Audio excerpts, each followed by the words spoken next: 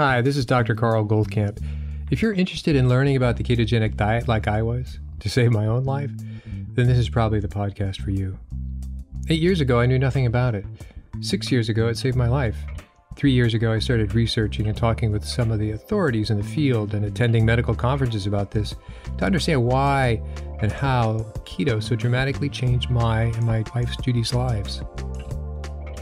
The purpose of this podcast is to share our journey of discoveries with you and understanding how keto is so effective in improving so many different conditions from obesity, epilepsy, diabetes, infertility, MS, Alzheimer's, heart disease, to name a few. So take a step away from all the hype you've probably heard and roll up your sleeves with me and join me weekly to explore this living miracle that anyone can access. We'll talk science, we'll talk food. We'll explore its history and evolution to today, which is that the sheer wonder of the ketogenic way of eating has changed untold number of lives, unlike anything before it. And in case I forget to mention it, please join our Facebook group, Keto Naturopath.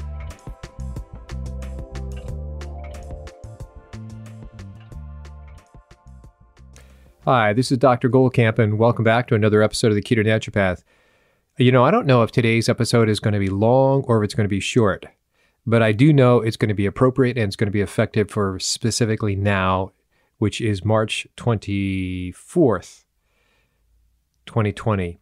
This happens to be the 100th episode of our podcast. So that by itself would be a, an opportunity for celebration.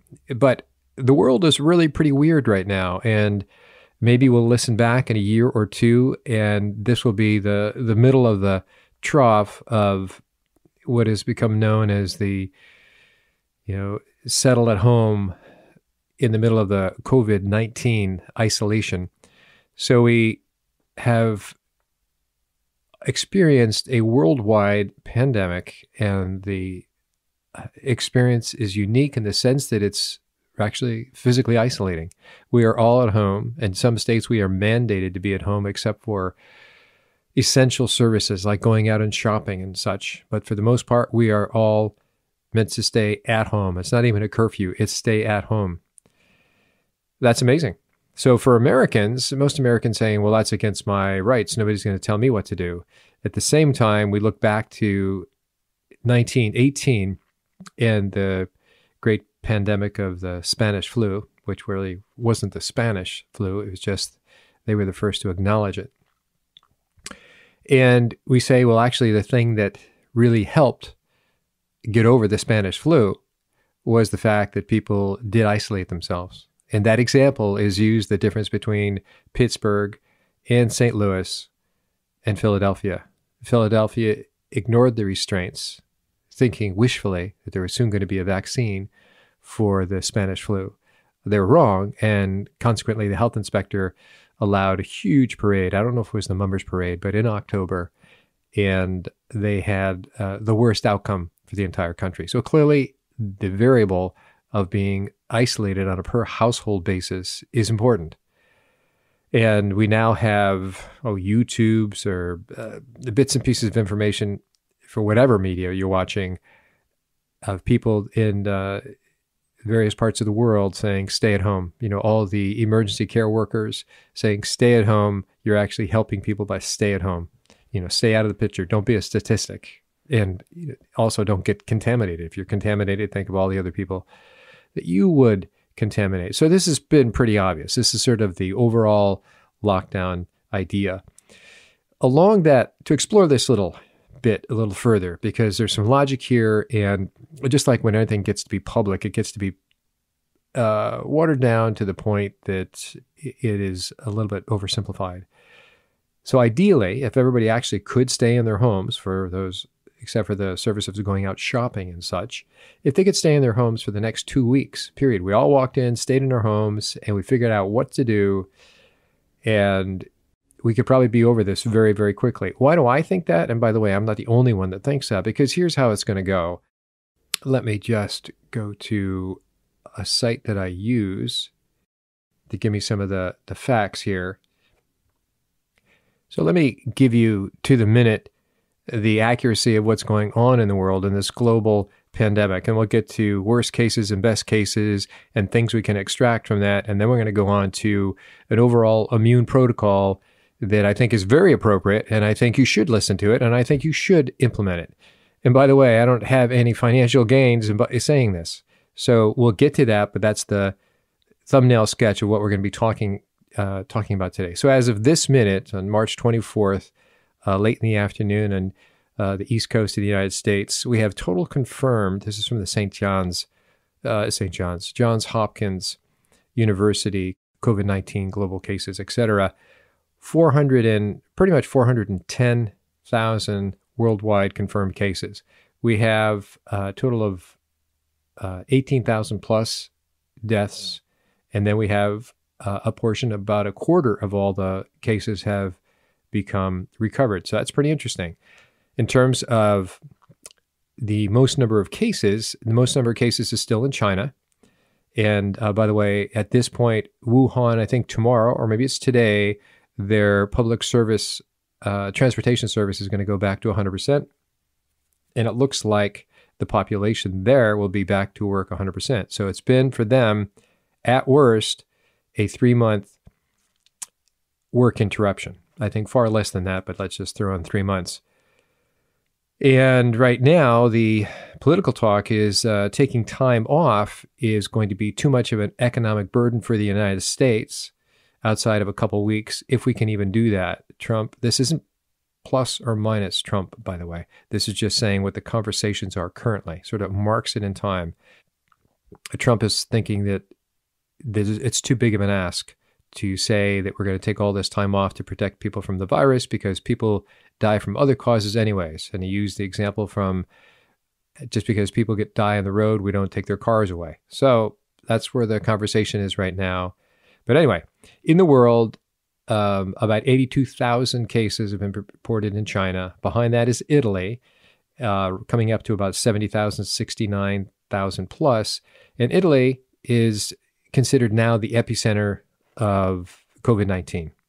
That is SARS CoV 2, or is the virus. And in part, it's the contrast of, first of all, China discovered they had this issue and they made these massive hospitals to take care of the population, which is very impressive to have that kind of coordination. So they quickly closed down, isolated people as much as they possibly could. In Italy, apparently that was the number one tourist destination for a lot of Chinese. Who knew? And they were not a population that was really inclined to shut anybody down, to build anybody's hospital. So they are overwhelmed. They are not at the they are now at the point of those who are 60 years of age or over. This is in northern Italy, Lombardy. Um, 60 years of age or over and in a respiratory unit that they have to take the ventilators away and give them to younger people. So, in other words, the ventilators are, there's not enough ventilators there.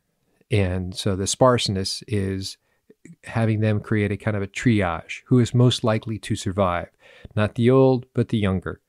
Let me in, interject here back to 1918 flu epidemic, which was about 16, two years overall, and that there was actually three waves there. So when they try to compare the SARS CoV 2 or COVID 19, that it's a little bit an unfair comparison because there was three waves in 1918, and the first wave was for the older, and then for the younger, and then the third wave, which is the one that came in uh, in the fall of 1918, was for the middle age. So all in all, everybody got hit at one wave or another. Right now, we're seeing a wave that, according to the data coming out of Italy and out of China and somewhat out of South Korea, which has been testing a lot, that it is mostly about the older, uh, the elderly, and the elderly with certain comorbidities. So comorbidities are other conditions that they had other problems.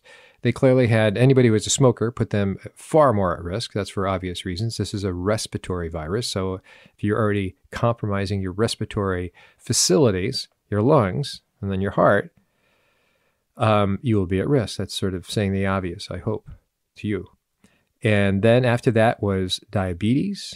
And after that was obesity. And after that was uh, hypertension.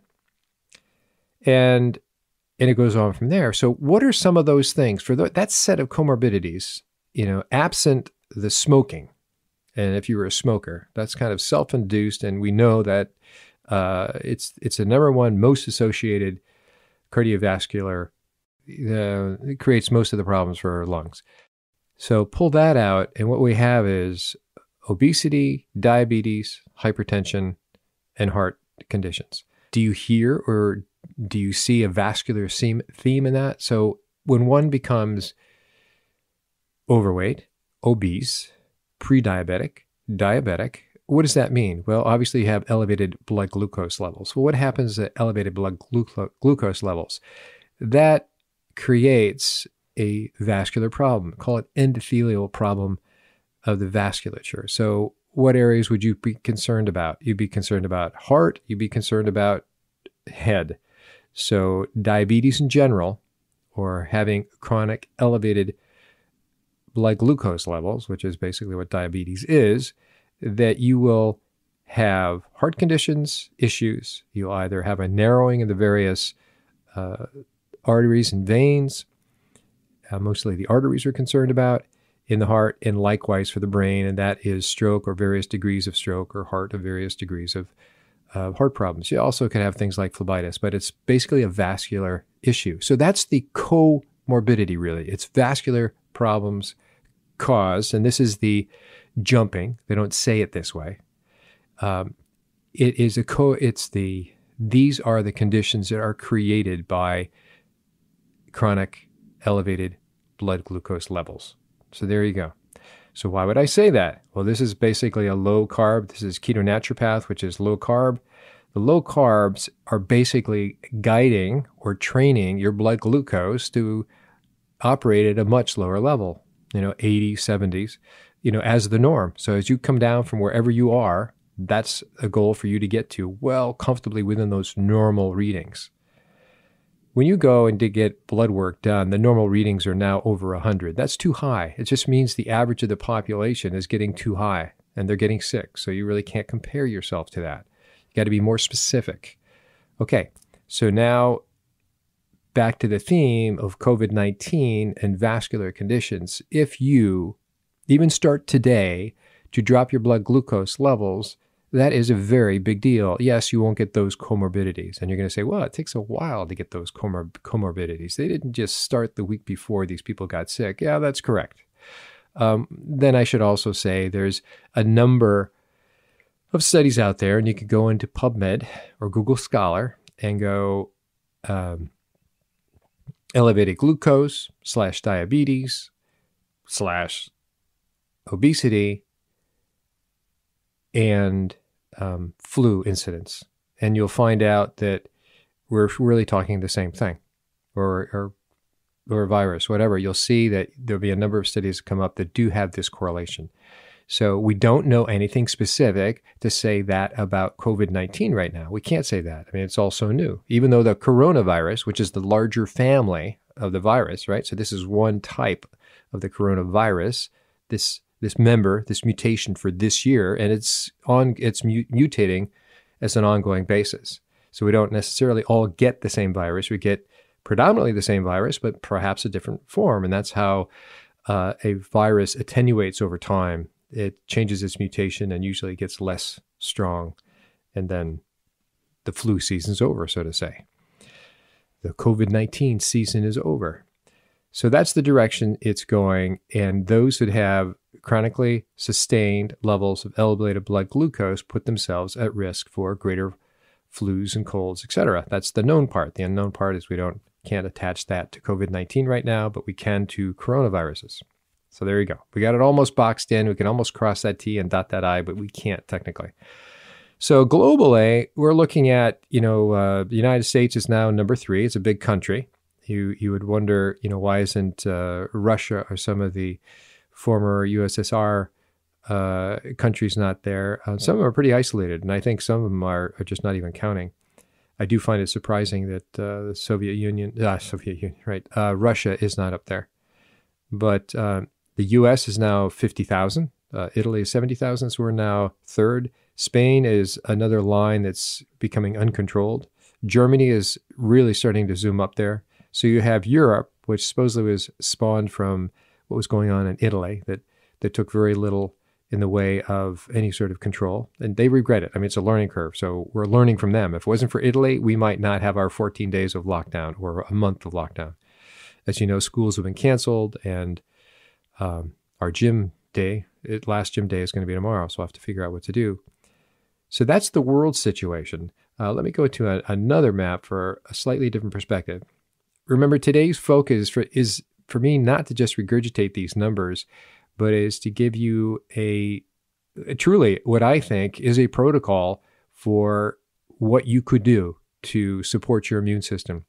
To say something like that is very vague. There isn't just one immune system. There's so many components to the immune system. You can't just go and this is good for everything. That's that's and this or this is good for everybody. That's never the case. So I'm going to outline some things that we do recommend for everybody and why that is a general recommendation, and then some specific things for this situation from what we know about the COVID-19.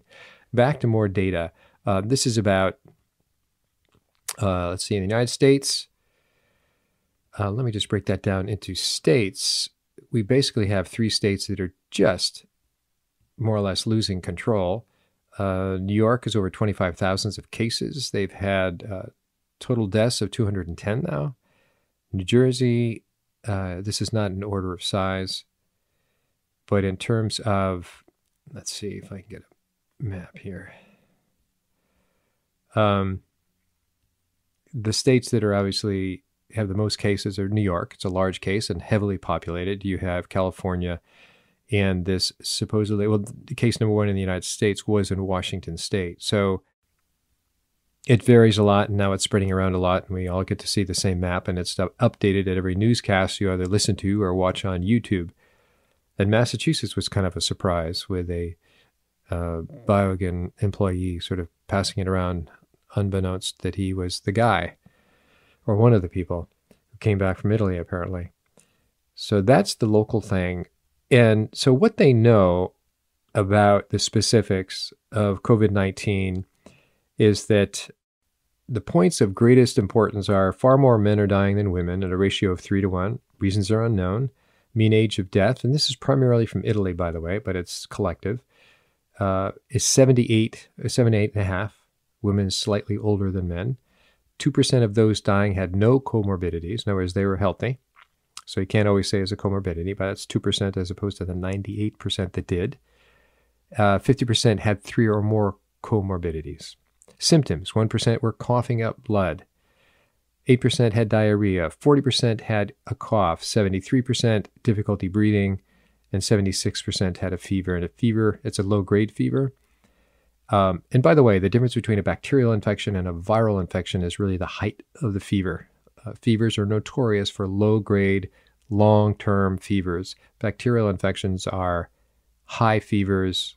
We're talking five, four, five, and six, 104, five, and six, and uh, usually come and go quickly. Okay, 95, 96.5% died of acute respiratory distress syndrome. Think of lungs, obviously, the center of it. So, therefore, secondarily would be the heart. And uh, it goes from there. There have been deaths under 50. There have not been any deaths under 30. And one of the things that has come up is that I'm going to go to this thing called uh, ACE inhibitor 2 receptor medications. So, what does that mean? They, the actual virus, the actual virus is now known to connect with the cell that is about to infect at, at a receptor that is called the ACE2 receptor. And so the ACE2 receptor also happens to be the receptor that a lot of anti hypertensive medications, that is, medications used for high blood pressure.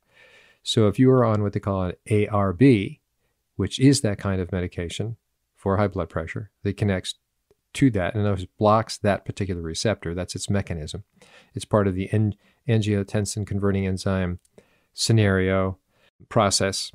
I'm not going to go into all that. But so just say it's right down to that receptor. So by coincidence, you might say, this is actually a pretty important receptor. the theory, the working theory of that particular medication was block the receptor, and we will has to do with the kidneys. The kidneys will absorb less sodium primarily, and if it absorbs, if it um,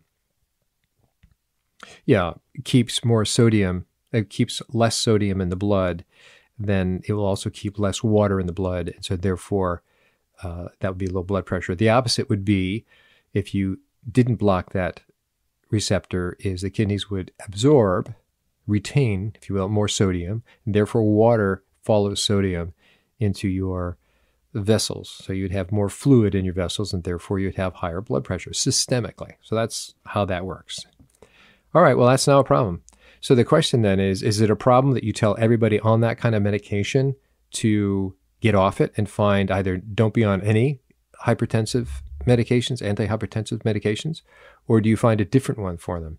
Nobody knows for sure, but more and more uh, knowledgeable, much more knowledgeable people than myself are saying, yep, get these people off that particular medication. So it's an ACE2 receptor blocker, would be uh, otherwise known as ARB, um, is the medication that's of concern. The other thing about this particular medication well, let me let me come back to that for a second. So, okay, we got that out of the way, and that is a separate issue. Do you tell people to do it, to stay on it, or not? Here's the information. Um, there's people that we're working with in our program. I give them information. I say, talk to your doctor and make sure. And here's the reference to these particular studies. Here's a reference for these particular opinions. Have that conversation. So that's kind of how how I deal with it.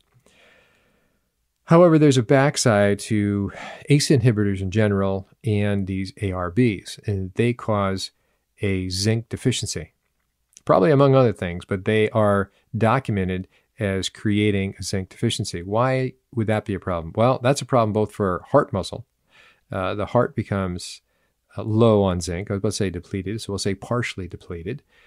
But the problem with zinc, it's a big immune regulator. It's a big part of your immune system. So you are on this medication to drop down your uh, blood pressure, but you're putting yourself at risk immunologically. So now we can say, well, that medication puts you at risk in two ways immunologically the receptor thing that I just finished talking about, and now about zinc. So that then begins for me to open up this list of what would I recommend for an immune protocol. And I think this is pretty important. And this is definitely what I would do. When this first started, before before I bought into the idea that was actually a serious thing to focus on, so that's now back about a month or so ago. I was either slow or fast, depending who you talk to, right? Um, that you know, as t- vitamin C was used a lot in China, and so there's a number of direct testimonials about China uh, simply people taking oral vitamin C. So we've talked about that. And the thing about vitamin C is it has such a huge range that um, you can really do anything. Yeah, you don't necessarily have to have IV uh, vitamin C, but be nice if they have it in the hospital for those uh, under acute care. I don't know if that's the case or not, but if you're taking it orally, it's a big deal. So I would take at least two grams a day, and you can go up to 5, 10, 15, 20 grams a day if you can tolerate it gradually. And so that would be one thing just watch when you. Uh, it's generally we used to prescribe it as take it to bowel tolerance, but some people have a pretty high tolerance, so it's better just to give them the numbers. The other thing is, as you come off vitamin C, taper down because you can induce induce what they call a rebound scurvy. So rebound scurvy is suddenly you stop taking it, and your body is still used to excreting it at a certain uh, at a certain volume, and you then go into uh, a couple weeks of depletion. Now you're going to be very low on vitamin C, and you probably get the canker sores and a few other things that one gets when they have scurvy. Okay, so keep that in mind, and everything's fine. You don't have to stay on it forever. Vitamin D would be the other one. So uh, I take 5,000 IUs of vitamin D3 coupled together with vitamin K2, and I do that at least uh, four times, four days of a seven day week. Why don't I do it every day? I frankly think that 5,000 IUs taken consistently over month after month is too much. But I think taking my 20,000 per week as we go through this is fine. Uh, so what happens with too much? If you have, if you go nuts with, and I've, you know, it's, it's a thing about making any recommendation that people will take 10 times your recommendation thinking more is better. And all I can say is more is stupid. More is stupid. Just don't be stupid on this. You can induce uh, various bone spurs. And uh, I mean, I've tried this out myself. When you find out if I start to get a certain neck ache, I will drop my vitamin D, and within three days, that neck pain will go away. It's a, a remnant from a skiing accident of a while ago uh, a while ago. So, um, so that's the vitamin D part. To that, I would also put on uh, NAC, N-acetylcysteine. It's a precursor for glutathione. It's the largest, um, largest antioxidant in the body, and also it's mucolytic, so it's going to dry you up, and that's a good thing. So if you're starting to get sort of uh, mucousy in the course of all this, so, in one way, if you're not sick at all, it's a preventative because you're now keeping your um, antioxidant high in your body. That's a good thing. And once you start, should you ever start manifesting any of the symptoms, the respiratory symptoms, it will keep you drier for longer, which is a good thing. Uh, well, I mean, not uh, being moist is good to an extent, but uh, not suffocating in your own uh, mucus. Okay. Um, so to that we had we have zinc and um, zinc you could do the thing about zinc it has to be paired with copper at about a 10 to 1 ratio um, zinc sulfate is really pretty uh, not very absorbable so we recommend zinc picolinate or even zinc elemental zinc but still with all those make sure it's paired with uh, copper so certain minerals have to be paired and that's just the way it goes for a lot of reasons if you don't take copper with zinc, you will then become copper deficient. The zinc will push out the copper, and then you will suffer the consequences of being copper deficient, which has a lot to do with vision. And I mean, no one thing is, uh, no one mineral is just responsible for one thing. So you'd be causing a problem, a pretty big problem.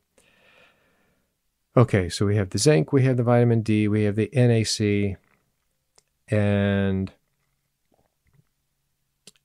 why would some of these things work? There is a treatment out there that is a combination of uh, hydroxy hydroxychloroquine. So hydroxychloroquine, otherwise known as Plaquenil, and Plaquenil is used for malaria. And so why would you use a malaria medication like they're doing in France and uh, two other countries that have actually started to report the res- their results? And it's pretty outstanding. It's like almost up to 100% of those in critical need were giving were given hydroxychloroquine and Z-Pak, um, which is an antibiotic. It's a respiratory antibiotic given for bronchitis and and uh, respiratory symptoms. So when you put these two together, they put these two together. It was a real win. But back to the hydroxychloroquine, the Plaquenil. The reason it works so much is it punches a hole in the virus in the cell wall of the virus that lets zinc in. Zinc is really good for your immune system if it can get to the inside of the cell. And it really can't get to the inside of the cell by itself as an ion.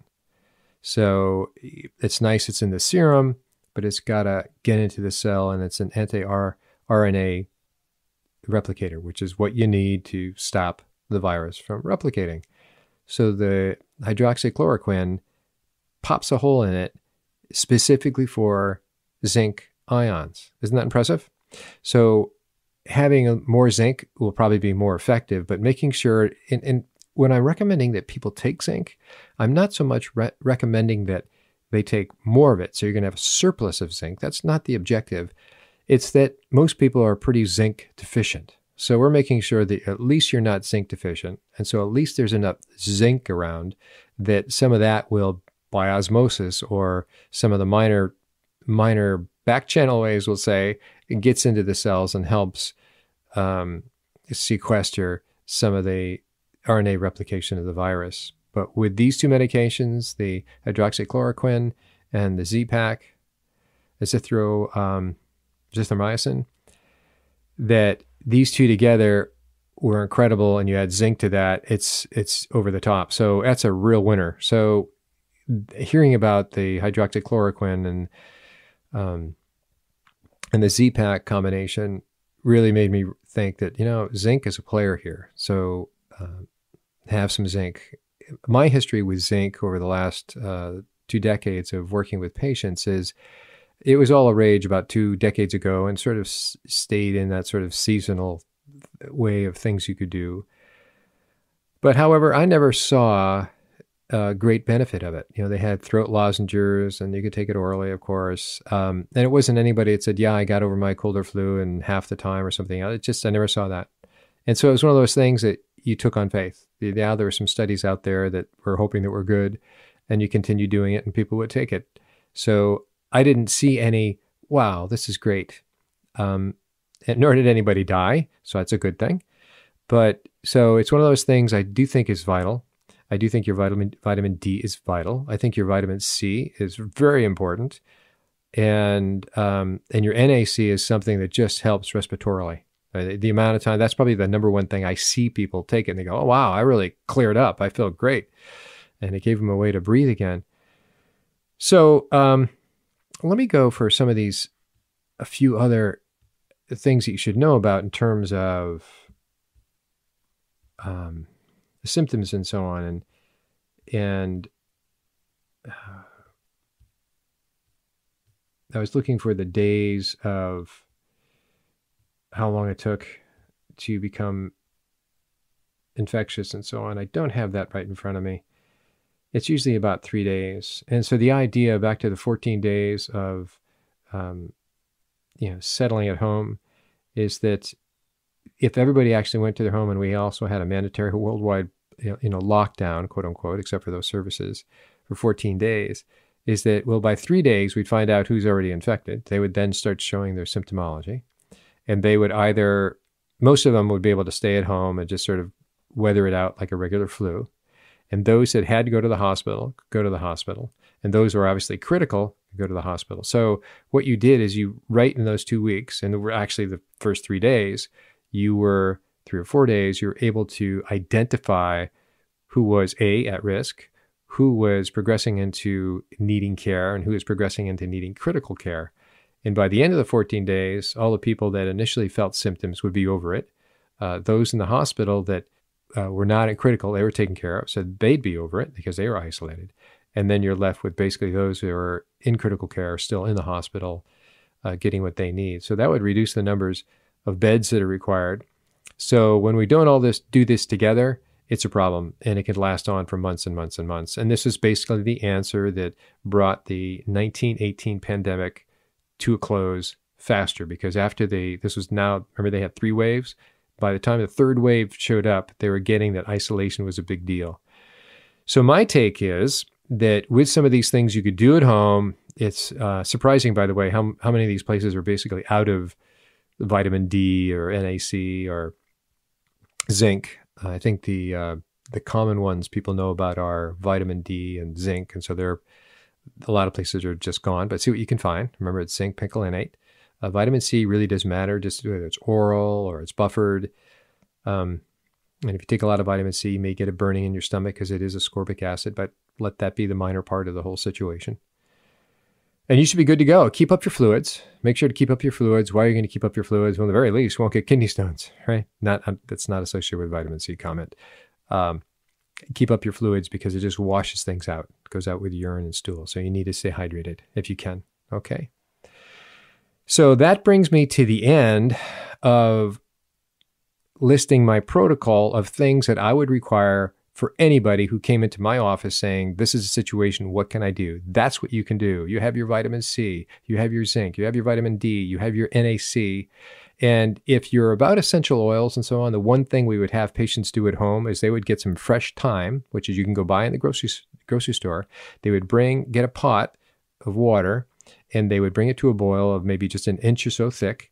Take that hot water off the stove, so it's no longer cooking. Throw in your sprigs of thyme and you would put a towel over the back of your head and you would try to get your head down into the pan as close as you could you know and that's so you're burning their nostrils from the steam but what you're doing is you are steaming the thyme and the essential oils you get of thyme and we're not time specific people go i heard about oregano is good too and i heard about eucalyptus and i heard about all those have their effects but thyme is the one Thyme is the one, and this is what you can do. And that tends to, it was a big deal for a lot of people. So you can steam thyme.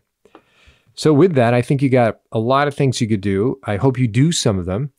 And I hope you do understand my connection of why low carb is really, really, really important. You know, so just start doing that now and bring down, you know, so the other thing is like if I've just talked you into getting your blood sugars down by dropping carbs, what I've also talked you talked you out of was getting processed foods out of your freaking house. They have no process. They have no reason, no process. They have no purpose being in your house. They are just going to cause you to go in the wrong direction. So get rid of your processed foods. Just eat strictly whole foods.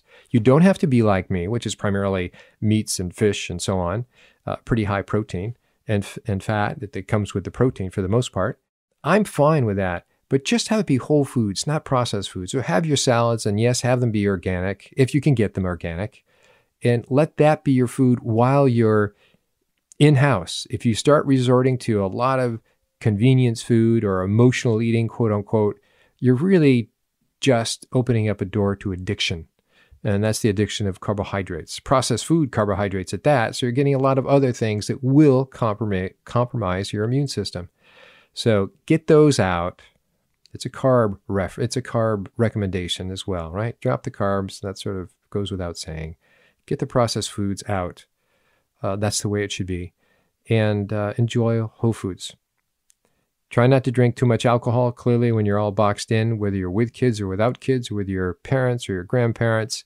Some is okay. Too much definitely will tank your immune system. All right. So, till next time, take care of yourself, and I hope we'll be further along. Bye bye. Hi, this is Dr. Goldkamp. I just wanted to encourage you to send in your questions to Dr. Goldkamp at ketonaturopath.com.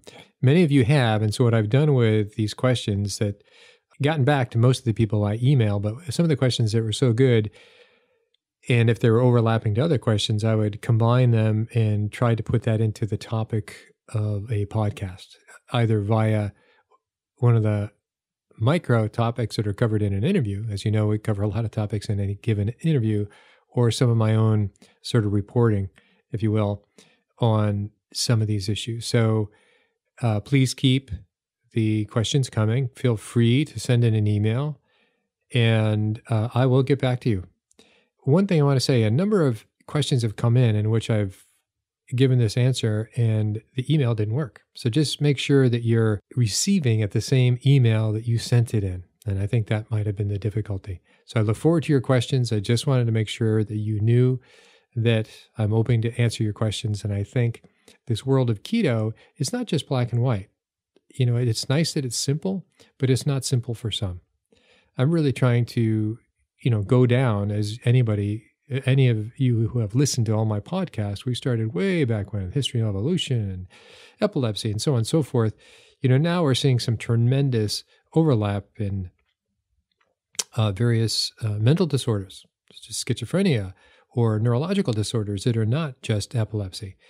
And also, just for people and losing weight, it's sometimes pretty complicated for them to engage in keto. And so they need some help. And so that's the whole point of, at least that's what I think I'm doing, is exploring the world of why are there other factors? So, in exploring some of those other factors, we've covered addiction, we've covered hormones, we've covered uh, nutritional deficiencies, we've covered certain metabolic lab results, and we'll go further. We'll even get to more on genome and aspects. So these are all just contributions that make for an obstacle for some people to engage easily in the ketogenic diet. This is my belief, and these are the things that I've discovered.